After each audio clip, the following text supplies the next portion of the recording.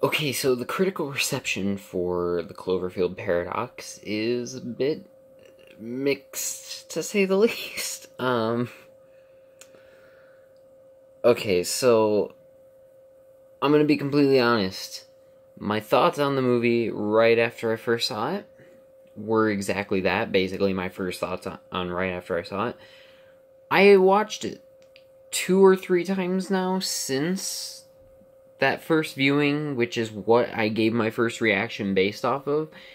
And rewatching it twice, three times, once with Mason, um, I do have a couple of issues with it.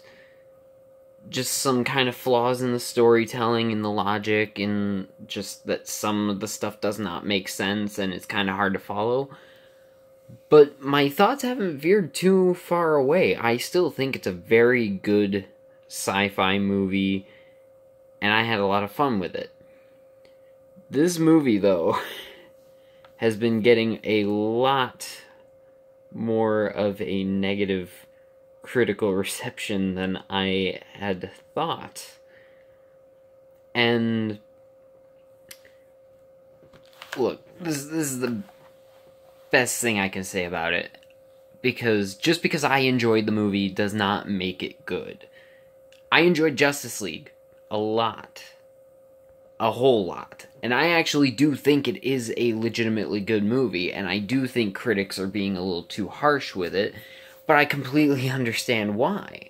Because Man of Steel, as much as I personally love Man of Steel, there are things about it that I do not like, and I completely understand why people don't like it. Same thing with Batman v Superman. I really, really love Batman v Superman. But there are certain things, not as much as Man of Steel, but there are still things about it that I don't like, and I completely understand why there are people that don't like it. Even um, after seeing the three hour ultimate cut, I, I completely understand. Suicide Squad, I have flaws with it, completely understand why people don't like it. And I kind of I kind of like it. So, I mean, obviously I have a lot of fun with movies that other people don't consider to be good. And that's fine. Everyone's entitled to their own opinions.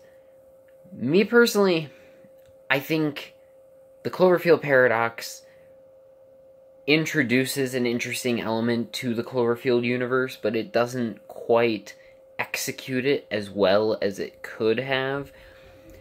And that is absolutely a product of the fact that the movie was not supposed to be a Cloverfield movie. It was just supposed to be this little sci fi flick, and they just kind of reworked it into a Cloverfield movie. And they changed some things about it so that they could basically create the logic behind why the monster was in the first movie, then aliens were in the second movie, why there's a particle accelerator in this movie, and why the next one may or may not have zombies. You have to explain it. So, they just kind of hijacked this other script to explain why they're basically just doing a bunch of different sci-fi horror movies in this universe instead of one linear storyline set in the same universe. And I'm all for that. And I really think it is a creative direction to take it. The movie just needed more time. And this is where my main issue comes in. The movie J.J. Abrams should not have signed on to do episode 9 cuz he he was not done working on this movie.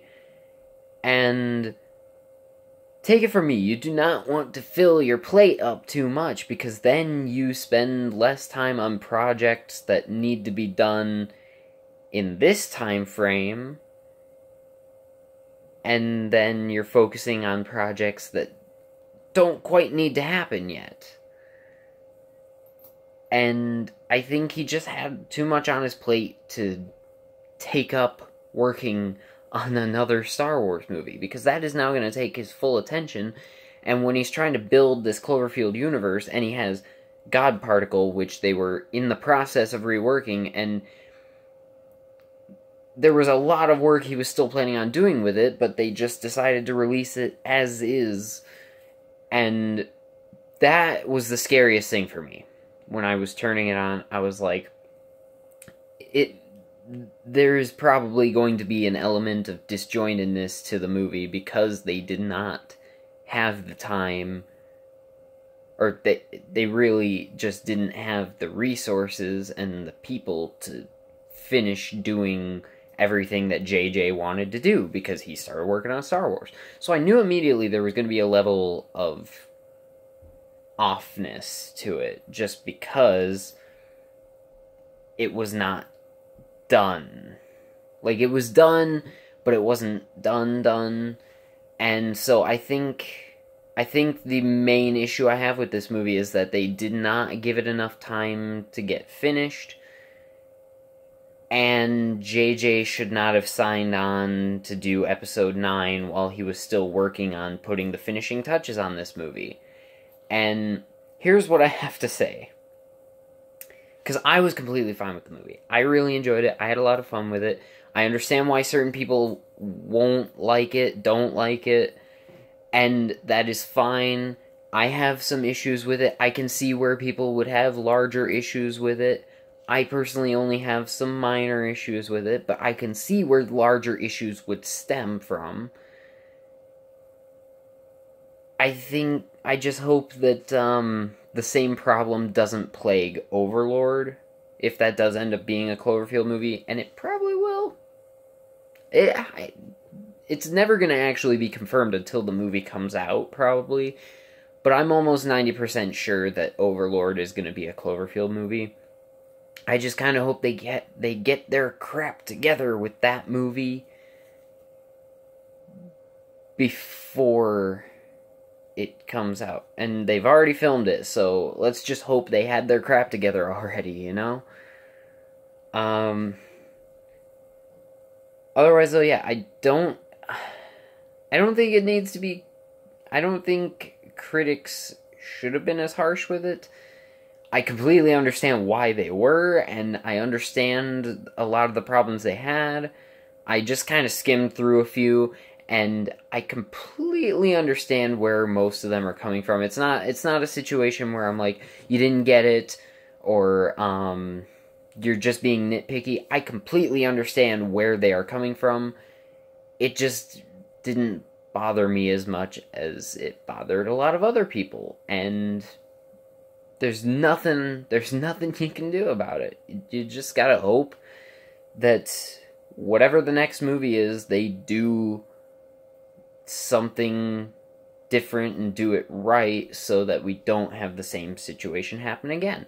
And I'm perfectly content still enjoying the Cloverfield paradox. Um, I'm planning on sometime this week just doing like a full marathon of all three movies. And so I'm perfectly content with the movie. I have my little issues with it, but nothing major and I know there I know a few other people that have seen it and really enjoyed it, have a couple of minor nitpicks with it, but overall I'm happy with how the movie turned out. I completely understand where these critics are coming from with some of their complaints, but I I just am not as bothered by them as other people are. And I really hope that they just do better with the next one. Anyways, guys, what do you think about the critical reaction that the Cloverfield Paradox is getting? Do you think that them dropping it on Netflix the night they showed the trailer was a good marketing tactic that's perfectly in line with Cloverfield's traditional marketing campaigns? Or do you think it was just a move so that they could avoid getting critically bashed before the movie came out? Because that has been floating around a little bit.